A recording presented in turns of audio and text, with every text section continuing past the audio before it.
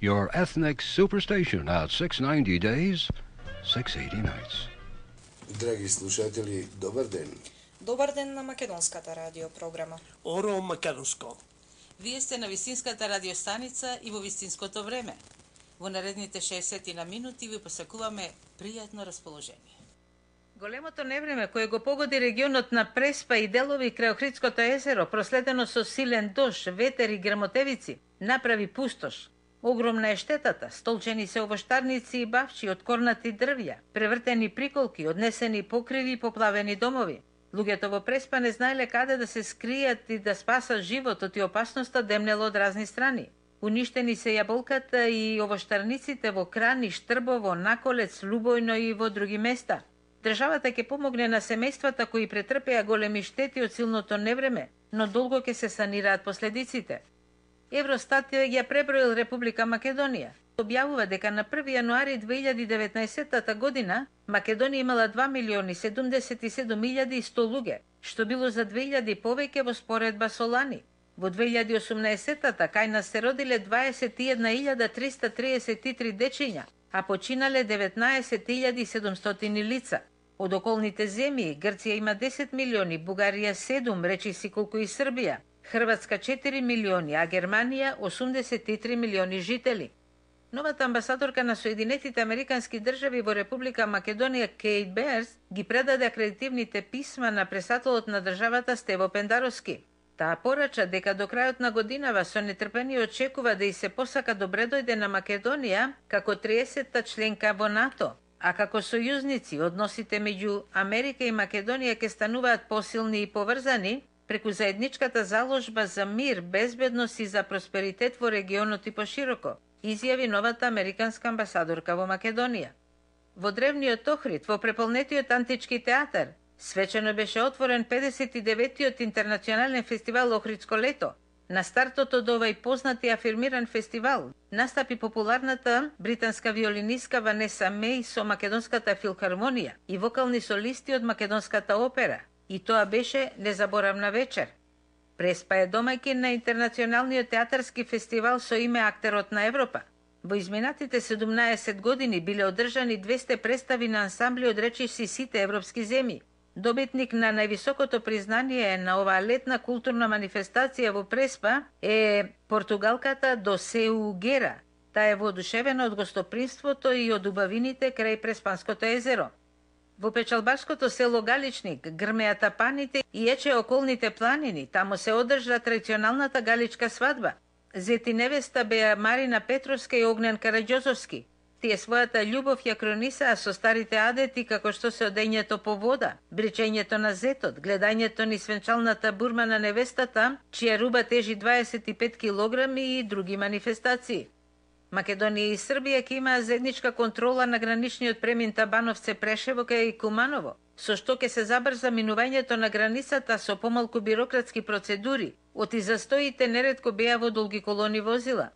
Македонија и Украина ги укинуваат меѓусебните визи за патување и посети. Продолжуваме со вестите. И натаму едно од топ темите е скандалот од како премиерот Зоран Заев наседнал на трик на руски комичари кои му се јавиле три пати лажно представувајќи се дека се бившиот председател на Украина Порошенко и генералниот секретар на НАТО Столтенберг Тие со Заев разговарале за доста прашања, за доста деликатни теми, меѓу кои и за признавањето на Македонската православна црква, за преспанскиот договор со Грција, како и за Русија, Европската унија, Србија и така натаму. Изаев им се јавувал ниф и им испрекал фотографии. Тој воопшто и не се посомневал дека е насамарен, дека е изманипулиран од комедијантите, Па кога го отвориле тие прашањето за Македонската православна црква, на Заев му рекле да се дадат 100.000 евра на Вселенскиот патриарх Вартоломеј, за да била признаена Македонската црква. На тоа премиерот се согласил. Па како ќе се одрази ваквата афера врз започнатиот процес за признавање на мапа за Вселенската патриаршија ќе се види.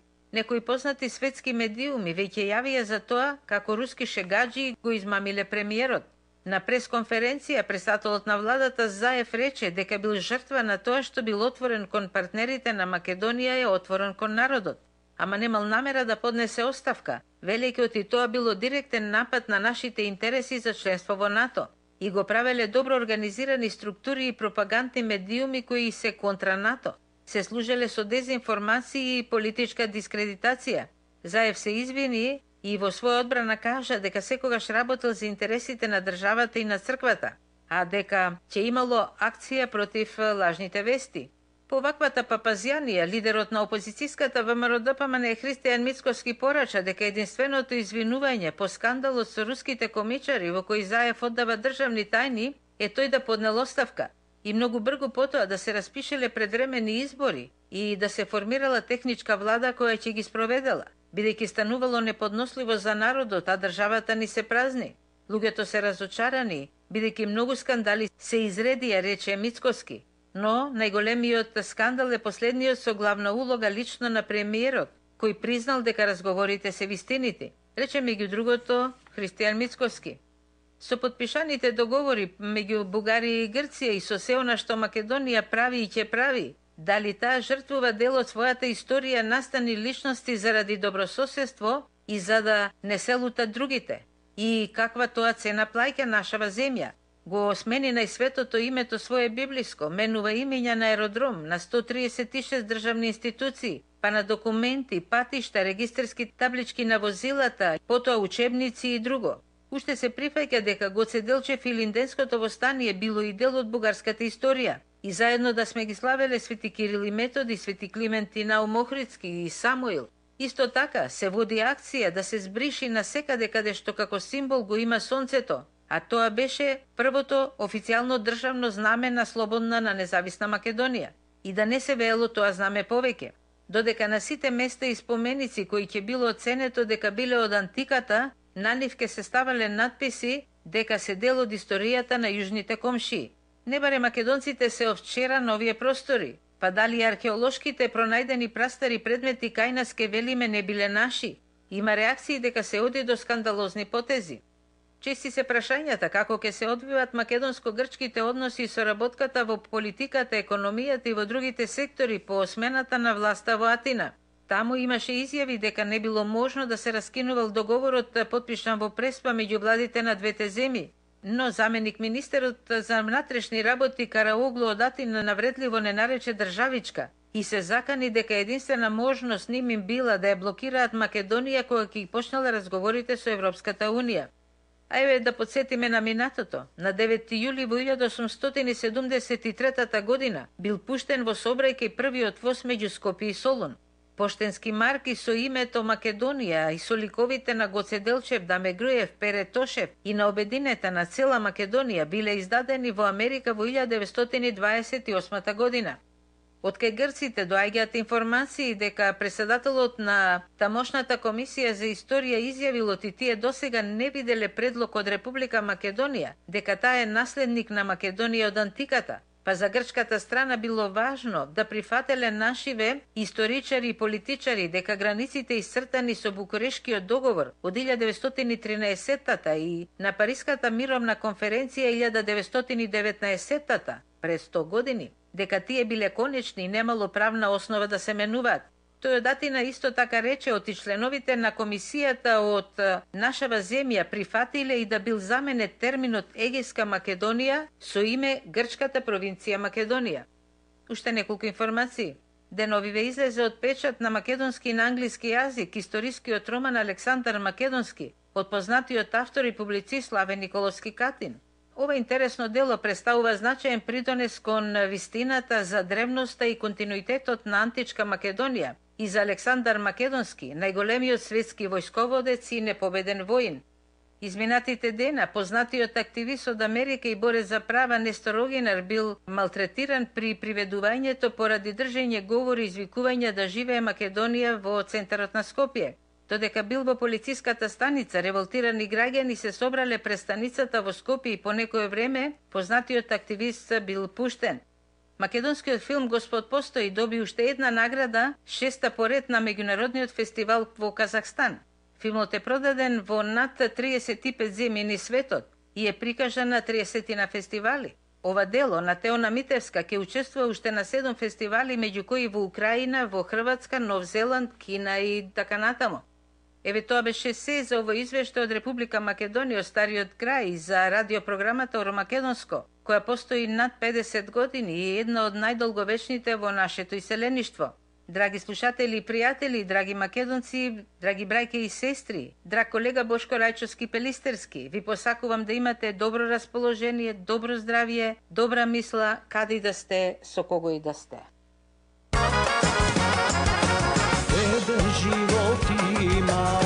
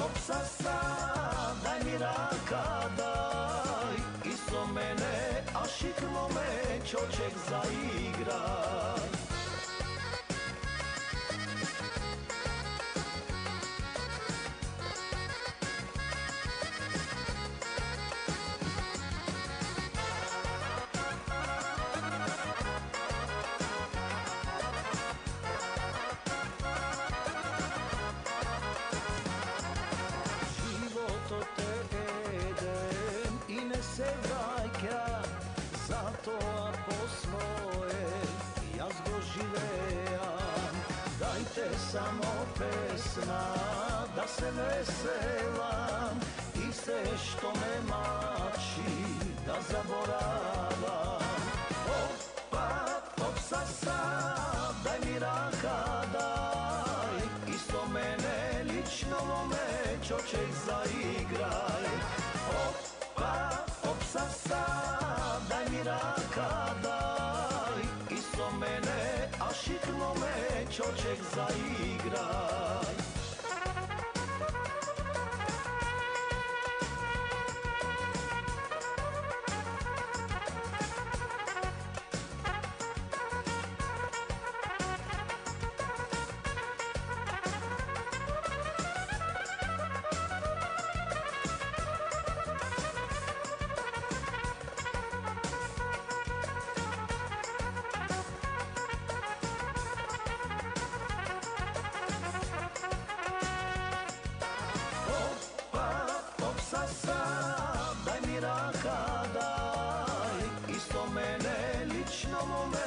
момечочек заиграј. Опа, опса са, дај ми рака,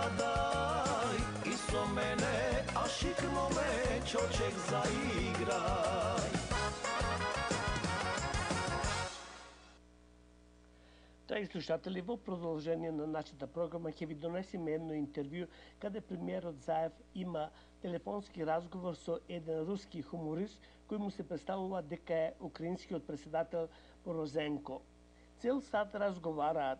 Премиерот Заев не може да осети дека е наседнат. Слушнете го пажливо и на крајот ќе ве прашам каков заклучок вие ќе донесете.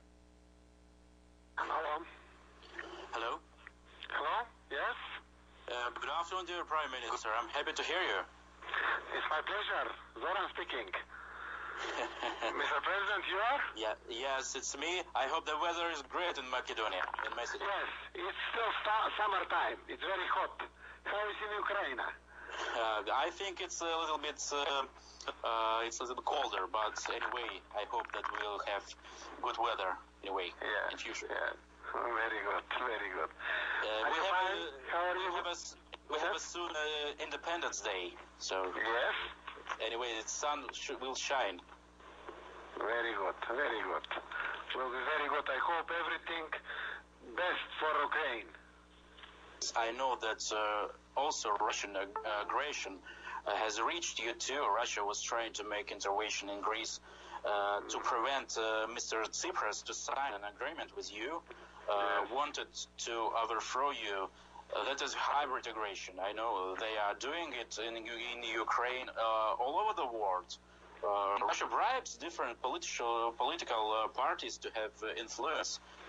Yes, it's a one very important moment, but first of all, you know that we expel one diplomat here also uh, before Greece because uh, together with Great Britain, like solidarity, because was very much exposed, uh, go far away uh, than every international possibility and uh, agreements what's existing, and uh, also involve of inside questions of our country, what was not allowed by any law, domestic or international.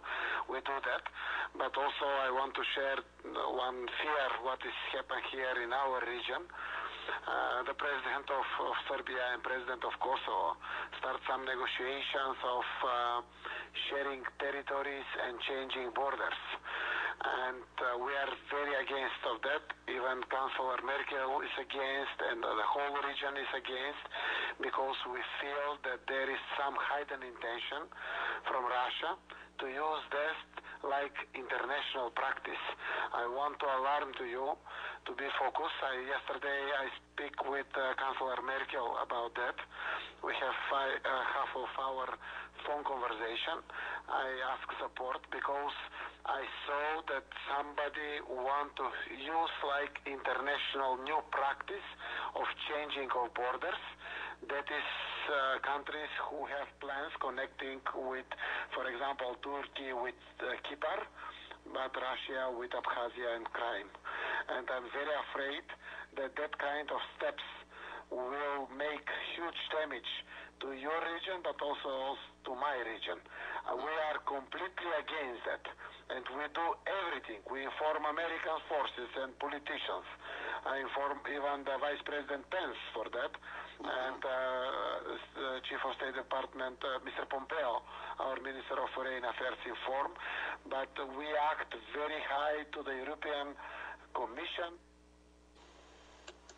But uh, probably we will need to start some procedure in front of them. I don't know from Greek church or from Bulgarian church here, like regional church connecting with us, what we have very good connection, to have some uh, arguments also for the procedure.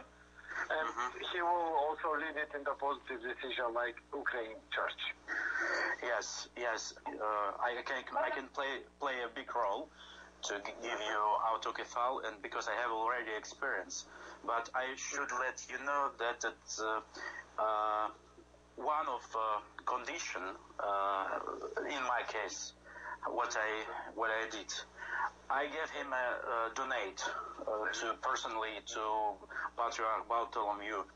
So I, I gave uh, I, I gave a little uh, donate to him about one one hundred thousand euros. So I think that it's also one of conditions that uh, can help you. Yeah, that is that is very good. No problem. That is very Yes. normal. Yes, and I, uh, you know that it's uh, some like a uh, bureaucratic procedure, so it's not. It's it's better to give him it uh, with cash. Yes. Uh, It's okay. It's okay. There will be donation in uh, in cash. Normally, we will do it because they needed support connecting with that. Well, Of course, we will do it. That we will do so that. so I can arrange uh, your personal visit to him, and we can uh, we can bring uh, all that stuff together. So because it's better to give it by cash. yeah, it was- normal. it was in my case. So I think, uh, and I talked to him and asked him what, uh, uh, how, when uh, this procedure could be started, and he said that uh, we can uh, start it on on June. Mhm.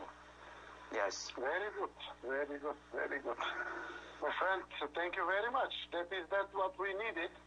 Uh, I will use also this direct connection by Greek line because he is from Greece.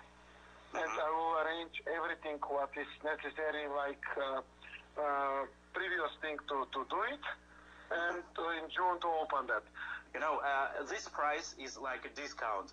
Uh, so he told me if you will, uh, if you will bring uh, me uh, your friend, so it will be like uh, some discount. So I paid more, 105, uh, 150. 100. Yeah, So, I understand. so it's, it's, it's good conditions for you. Yes, yes, it's super. It's super. And I also, so uh, I also have a few questions more, uh, if if you have time. Uh, so На крајот од разговорот, рускиот комент, коментчија на Заев му предлага дека за 100.000 евра ќе може да ја заврши работата со патриархот во Цариград за да биде признаена македонската црква. Почитувани слушатели, тоа беше разговорот помеѓу Заев и рускиот комедичар, кој му се представи како украинскиот председател Поразенко. Што е вашиот коментар? Ако ме прашате мене, не е човек ни да се смее, ниту да плачи, туку со гајда да го реди нашиот премиер. Хумор. Премиерот Заев насен на, на телефонски разговор така наречениот украински председател и председателот на НАТО. Да слушниме. Премиерот Зоран Заев обелодени дека освен што тие му се јавувале и тој ги контактирал лажните Столтенберг и Порошенко, односно руските комичари. Одговорност нема да бара од никого, повтори Заев, додавајќи дека ќе продолжи со директни комуникации без владиниот протокол. Не стивнуваат бранувањата по објавата на телефонските разговори помеѓу лажните Петро Порошенко и Јен Столтенберг со премиерот Зоран Заев. Во изјава за медиумите денеска македонскиот премиер рече дека комуникацијата меѓу него и руските комичери била взаемна, односно дека можно и тој неколку пати телефонски да им се јавувал, убеден дека разговара со вистинските Столтенберг и Порошенко. Тоа време јас си верував дека имам комуникација. Како што добива слики од парадата на војската од Унгарија, у, Украина, од така наречениот или лажен председател Порошенко, јас сум праќал слики од Меркел во посетата или слично. Не знам точно до која била комуникацијата. Секој не се сеќавам, не немам може да видам во историја на телефоните иако ги менуваме секој телефоните во одреден период, но можно е да се Тврдат дека сте, вие лично сте ги побарале неколку пати двајцата на телефоните што сте ги имале. Значи во таа комуникација која што сме имале, да, можно е како тие што ме барале. Мене јас сум ги сум го барал верувајќи дека е председател Порошенко. Кога свативте дека не сте вистинските? Завчера кога се објавија Премиерот рече дека нема да бара одговорност и дека ќе продолжи со телефонски разговори без посредство на владиниот протокол. Тој додаде дека за време на овие комуникации разменувал и фотографии од настани кои се случувале во Украина и Македонија. Тој вели дека добивал слики од парадата на војската, а праќал од посетата на Ангела Меркел во Македонија. Дали премиерот Заевки си даде отказ после ова скандал, останува да видиме.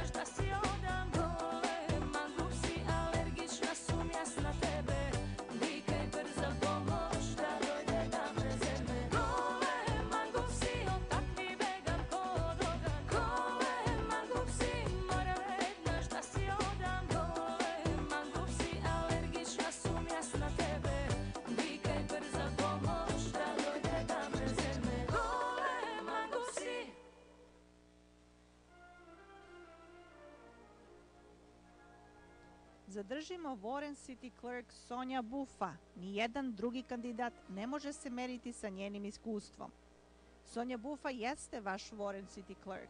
Ona živi u Warrenu već skoro 48 godina, sada sa svojim mužem Ginom. Završila je Warren High School, dobila associate degree na Macomb Community College-u i bachelor's degree na Wayne State Univerzitetu. Sonja Bufa jeste vaš Warren City Clerk. Bila je zamenik City Clerka 16,5 godina i office manager dve godine pre toga. Vodila je oko 600 treninga za obuku radnika u poslednjih 19 godina u opštini. Posjeduje Certified Municipal Clerk status i Master Municipal Clerk status. Ne zaboravite Sonju Bufu, vašeg City Clerka za Voren, kada budete glasali 6. avgusta. Ona će vam doneti svoje liderstvo, iskustvo i posvećenost. Задржимо Ворен Сити Клерк Сонја Буфа. Hvala што гласате. Драги слушатели, на 6 август гласите за нашата сонародничка Сонја за Ворен Клерк. Сонја е, чи родители се од Црна Гора. 6 август, дајте го вашиот глас за Сонја.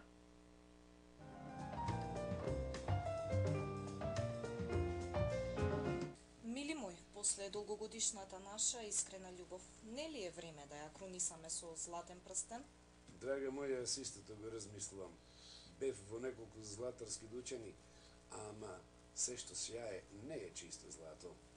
Во право си, во Крамер Jewelry има чисто злато. Крамер Jewelry се наоѓа во новата локација на Вудвар измеѓу 10 и 11 мајла. Браќата Джордж и Павле се мои пријатели, нивниот златарски занает го продолжија браќата Джордж Джуниор и Енди Крамер. Нивниот телефон е 248 968 3010. Крамер Jewelry на Вудвар измеѓу 10 и 11 мајла.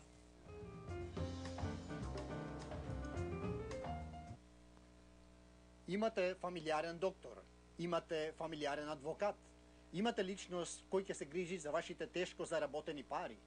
Потребно е да имате човек кој ќе се грижи за вашата кола. Во овој брз динамичен живот, колата е неопходна. Доколку ви се појават било какви проблеми на вашата кола, право место е H&I Expert Car Care. На мајчин јазик, на Христе Иле, ќе им кажете што проблеми имате со вашата кола. H&I Car Care се наоѓа на адреса 40390 Mount Road, измеѓу 17 и 18 мајла. Телефонскиот број 586 978 8800.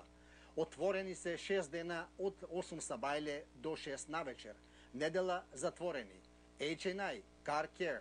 Телефонскиот број 586 978 8800. Оро, оро, оро, оро македонско. За да имате убави бели заби и прекрасна насмевка, обратете се во заболекарската ординација на доктор Луис Кацис. Новата локација е на Рајан 16-та милја, а нивниот телефон е 586 264 2000. Доктор Луис Кацис и целиот негов персонал зборуваат македонски, и прифаќаат повеќето здравствени осигурувања. Заболекарската ординација на доктор Кацис се наоѓа на Рајан 16-та милја, а нивниот телефон е 586 264 2000.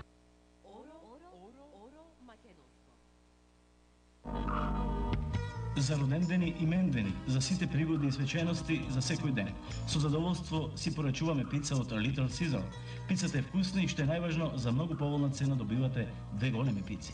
Ке ми биде драго и мене и на моите ако вечерва со целото ваше семејство ни дојдете на гости. Нема ништо специјално да подготвувам. Ке нарачам големи пици од Little Caesar и ве чекаме на гости. Ви благодарам, доаѓаме на пријатниот парти кај вас со пиците од Little Caesar. Пензионерското друштво при Македонската црква Света Богородица секој трет четврток во месецот организира фамилиарна дружба. Ручек со почеток 3 часу попладне, идната следба ќе биде во четврток 18 јули. Повелете фамилиарно дојдете, само за десетина долари ќе бидете послужени со богато јадење, а што е најважно, неколку сати ќе поминете со лав муабет. Четврток, 18 јули, 3 часот попладне во Македонскиот културен центар. Традиционалниот Илинденски фестивал оваа година ќе се одржи сабота и недела 27 и 28 јули на својот црковен парк во организација на Македонската црква Свети Георги Кратовски, која се наоѓа на 12 мајла во Фармингтон Хилс. Влез 5 долари по кола. Добра скара, вкусни зелници, добра музика и добра дружба. На Илинденскиот фестивал сабота и недела 27 и 28 јули За повеќе информации јавете се кај председателот Димче Цветановски или членот од управата Благој Дунгевски. Црковниот народен собор на Македонско-Американската канадска епархија оваа година ќе се одржи во Бафало, Њујорк, каде Македонската црква Свети Кирил и Методи ќе биде домакин петок, сабота и недела, 30, 31 август и 1 септембар. Направете си на време резервација. Македонската црква Света Богородица ве поканува на традиционалниот македонски фестивал кој се одржува сабота и недела 24 и 25 август оваа лето господово на црковниот парк на Света Богородица на Рајни 19 мајла во Стерлинг Хајц. Вкусни кебапчина, зелници, тулуми, одлична музика и дру, е, добра дружба. Сабота и недела 24 и 25 август.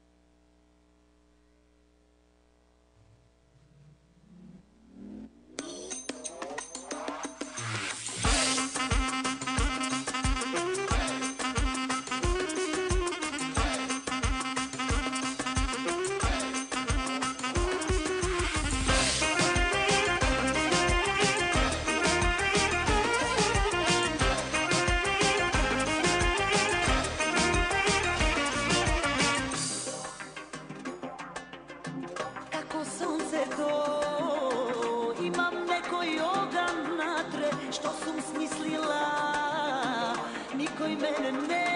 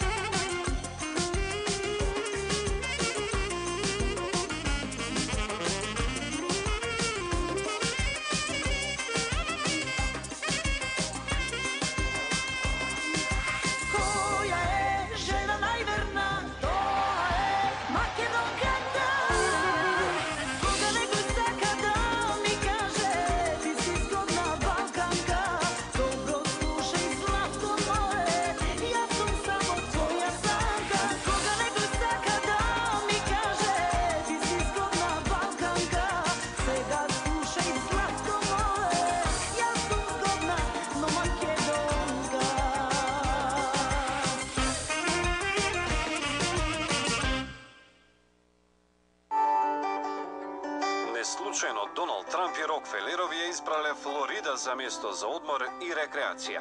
Браќата Џорџ и Јосиф Атанасовски инвестираа повеќе од 80 милиони долари на непосакуваното место во светот Ормонд Бич. Стамбениот комплекс Ормонд Ренесанс со супер луксузни апартмани се наоѓа на најатрактивната крајбрежна локација на Атланскиот океан. Во непосредна близина на комплексот се наоѓаат аеродроми, шопинг и спортски центри, голф игралишта, музеи, културни споменици, паркови, болници. Се на едно место.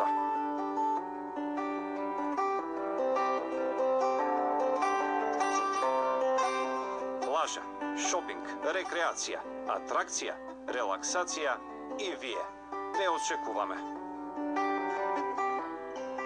Телефон 386 451 5299. Повторувам 386 451 5299.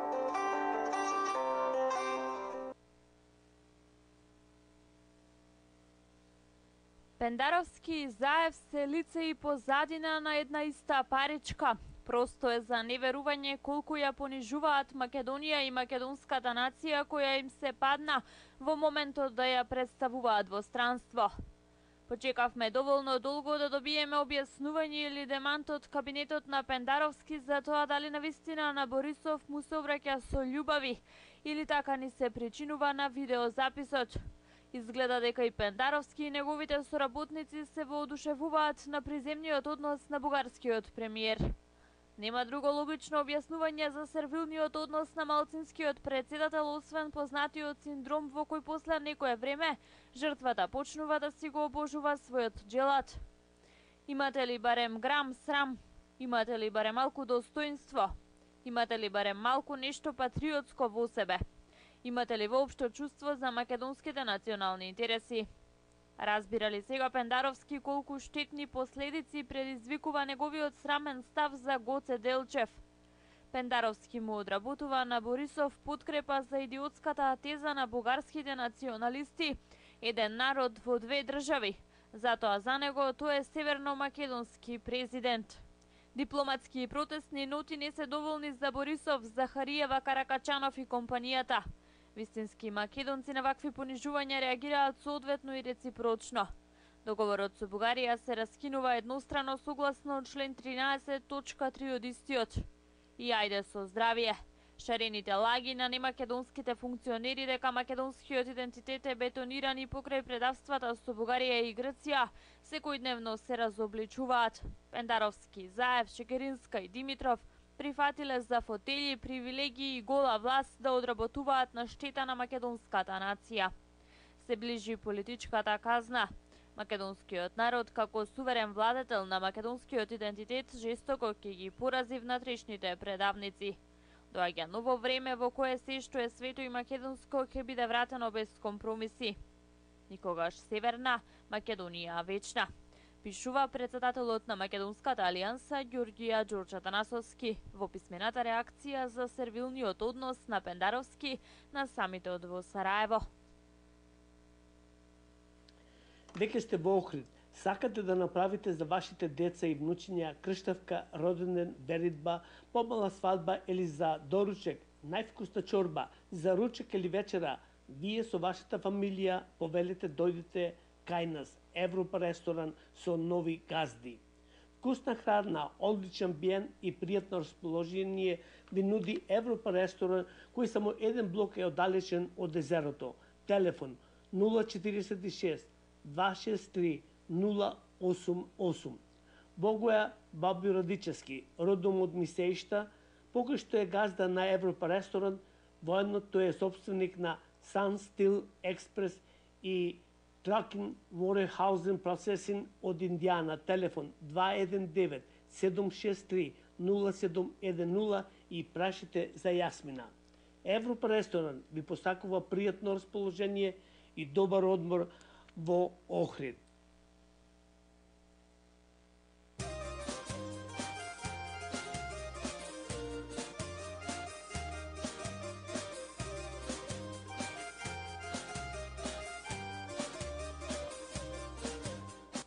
Ателје Копер Арт Охрид Нарачете релјефни рачно изработени стики со ваш мотив и ваш собствен избор на материјал. Обработуваме бакар и месинг во комбинација со посребрување, позлата и дрво. Копер Арт. Повеќе производи можете да видите на Facebook и Instagram. Копер Арт Дани. Копер Арт, телефон 072 271 014.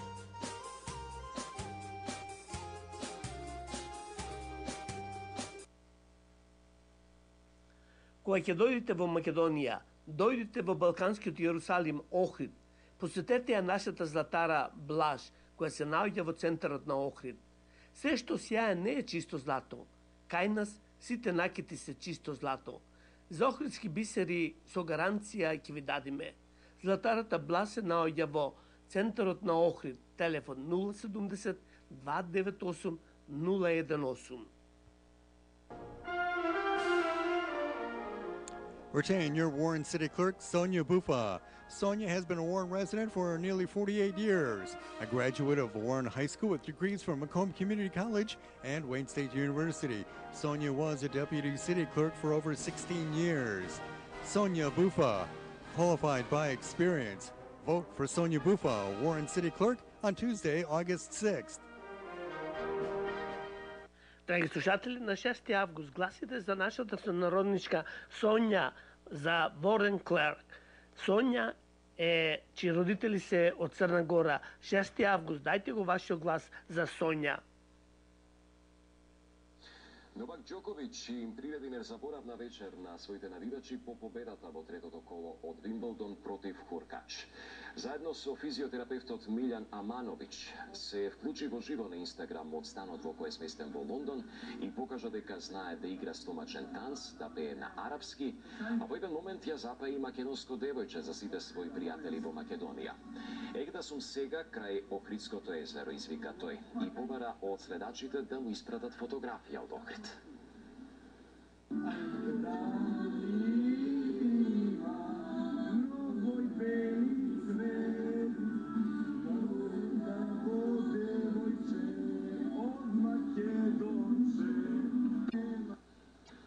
Неговиот потек најде на одушевување во земјава, премиерот Заев преку Фейсбук го покани да ги посети Охрид и Скопје. Прекас, прекрасно е чувството кога аз како тебе се обраќа со почит и љубов на нашиот македонски народ и на сите граѓани во Северна Македонија. Те чекаме во Охрид и Скопје и на сите други убави места, тука во нашиот мозаик од култури и вредности, напиша Заев во поканата. Oj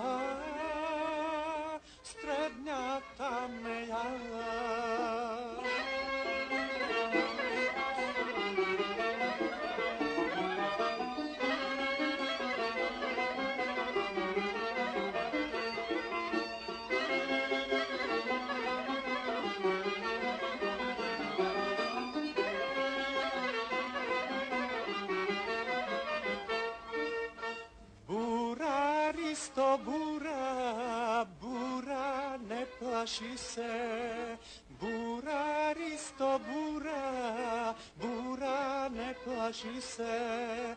A, bura, ne plaši se. A, bura, ne plaši se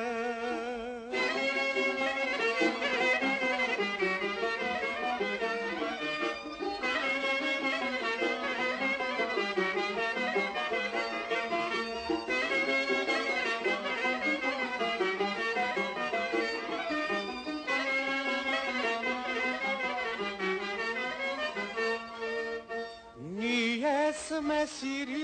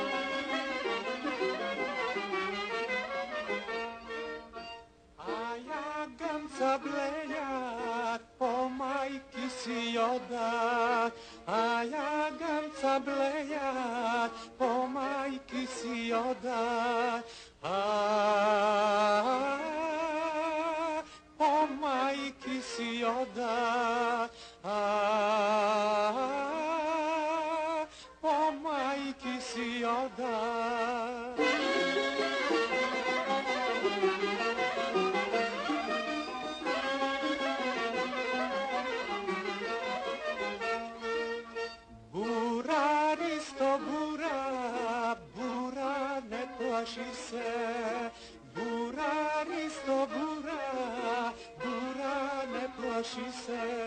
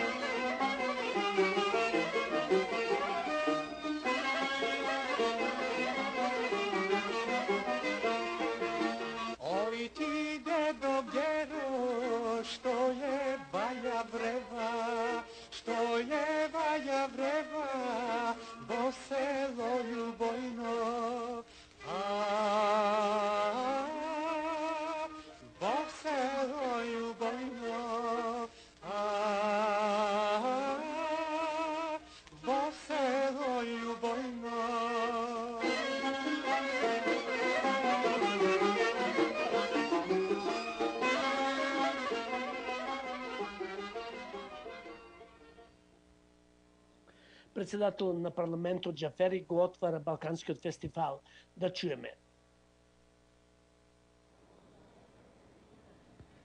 Почитуван заменик министр за култура, почитуван директор Симоновски, почитувани представници од општина Охрид, почитувани изведувачи, дами и господа, драги пријатели и любители на народна музика и игра.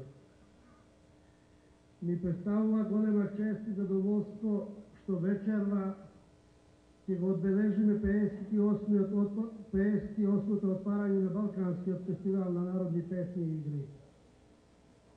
Ова е фестивал кој е најстариот меѓународен фестивал од ваков вид на Балканот и кој поради својата специфика се смета како една од најзначајните фолклорни манифестации во светот. Тој излегува од своите рамки и изградува во својата организација дополнителни артистички изразувања. Distinguished Deputy Minister of Culture, Distinguished Director Mr. Simonovsky, respected members of the municipality of Ohrid, distinguished performers, dear friends and admirers of folk music and dance, it is a pleasure and an honor to mark the 58th opening of the Balkan Festival of Folk Songs and Dances tonight. This festival is the oldest international festival of its kind on the Balkan, and it is considered as one of many and most prominent folk events in the world. It goes beyond the scope of its frame and embodies additional artistic expression in its organization. Песната, играта е само дел од начините преку кои се изразува културното богатство на еден народ. Колку генерално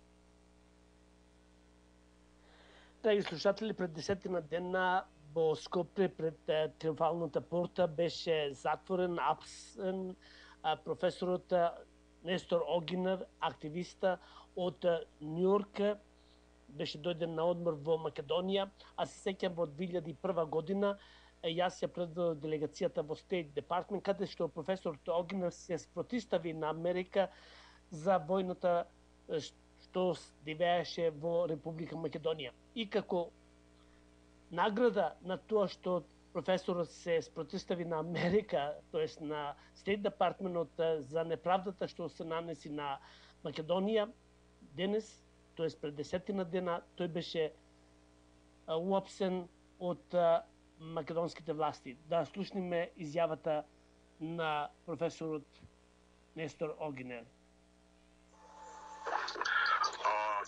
Прво сакам да да се заблагодарам на илјадници и илјадници гледачи широм светот кај во Мелбурн, во Австралија и на сите континенти кои што ми изразија и мене и на сите нас морална подршка за она што што се случи а, и тоа ми дава надеж дека сепак ние колку и да сакаат да не парализираат ќе можеме да најдеме начини да се комуницираме едни со други. А 5 јули оваа година за мене ќе остане ден исполнет со горчина, ден за радост на последнијата капка авторитет на оваа северна власт, ако воопшто ја имала, меѓутоа исто така и ден на триумфот на непокор на македонскиот народ изразен не преку мене, туку преку она маличка група на луѓе со кои што ние организирано дојдовме да протестираме против присуството на НАТО и во Македонија, а посебно на јавно место на площадот. Јас бев а, еден од организаторите и некаде околу 5.30 поправнето во приклучението отидов сам а, пред портата Македонија, поминувајќи низ кафеани, како што ви знаете, преполни со а, луѓе. А, се сетнав со еден двајца од наши а, активисти. А, имаше неверојатно полициско и воено осигурување. А, меѓутоа забележав дека портата беше отворена и не беше ништо забележано како а, ограда на која што не може да се пешекори, нели? А, додека разговарав со еден од учесниците на протестот, а, забележав како од собранието кон портата Македонија се движи колона од а, оклопни возила и тенкови. И тоа доаѓа за мене што е на голема брзина. И кога дојдам на неколку метри пред да влезат во портата, јас и шекорив еден, два, три, во средината на портата ги крена врасите и реков стоп, да живее Македонија.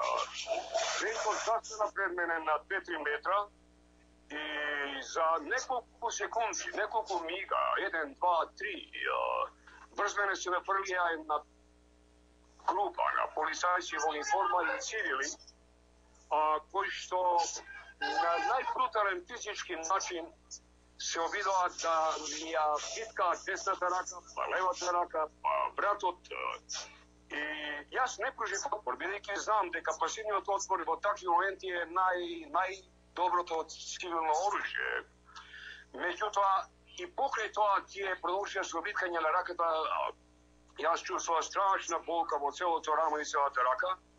Ме наведна и ми ги ставија лисиците и потоа, како што гледате вие на самото видео, ме истуркаа со практично во креческа положба на другата страна од портата, каде што ме притиснаа во целот неколку полицајци. А, јас а, во цело време викав а, да ги ослободат лисиците, бидејќи лисиците беа премногу силно врежани во моите раси, имав чувство дека ќе ми ги искенат рацете, нели? Мене ми приде еден од командирите, вие можете да го видите на видеото, а, нешто со Ray, Ray, Ray-Ban наочари, и ми рече, ако и понатаму почнете да викате и да не наплаќате, јас ќе натерам да имате уште поголеми болки. И ми ги стегнаа лисиците. Ме држаа таму неколку, може би 3-4 минути и потоа ме поднеша во еден полициски комби, да вен, во кој што ме ставија заедно со лисиците, сам. Тоа комби, ќе ви речам, нема воздух, не можеш да дишеш во него без сам неколку 3-4 минути, а, и почнав да се загушав. Удирав со нозите на вратата, после некој минут ја отворија вратата и ја внесува една жена за која што разбрав понатаму дека била мајка на едно убиено дете, Тино. Ја жената не ја знам, меѓутоа и неа ја беа привеле и ги затворија вратите додека јас се уште ги имав лисиците. Повторно цукнав на вратата со ножите ја отворија и реков, ако ништо повеќе, ослободите ми ги рације, евиденски имам полки страшни. Ми ги а, извадија лисиците и не приведува во полиција, каде што бев а, испитуван околу 3,5 сати од повеќе командири во полициската станица Беково. Тие мене ме теретат, ме товарат, да речам, а, со тоа дека сум одбил да извршам наредба на службено лице и тоа тоа беше нивната нивната оптужба кон мене која што јас се разбира не ја подпишав. Јас делувив никаква наредба од никого. Јас делувам во слободен простор. За мене портата Македонија, господине Најдовски, тоа ќе го кажам и понатаму. Каква и да е, кој и да ја направи, е символ за македонскиот непокол, е символ низ кој што поминуваат победниците на македонската национална енергија, спортисти и сите други. И Да, и слушатели, тоа беше изјавата на професорот Нестор Огнер, иначе кој живее долги години во Нью-Йорк, а е ак- македонски активист.